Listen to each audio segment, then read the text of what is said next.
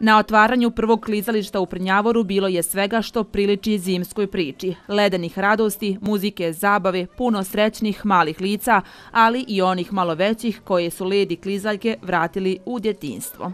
Pa lijepo, još ne znam, se klizat. Bilo je malo i padova. Puno padova. Hoćeš li i u narednim danima dolaziti ovdje? Mm, Vjerovatno.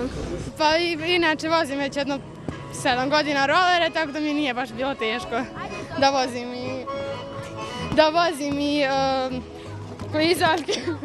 Izvinite. Kako je bilo na početku? Je li bilo padova? E, pa na početku mislim rolere, klizaljke. Pa prvi put sam bilo pala, ali sad je dobro. Gdje si naučio klizati? E, u Banja Luci. Kako se snalaziš?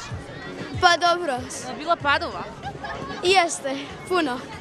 Klizalište je postavljeno na parkingu kod autobuske stanice. Ukoliko vremenske prilike budu dozvoljavale, klizalište će biti na raspolaganju zainteresovanima do kraja februara od 10 do 22 časa. Evo je jedno dešavanje na koji su nam e, skretali pažnju naši najmlađi sugrađani još dugi niz godina.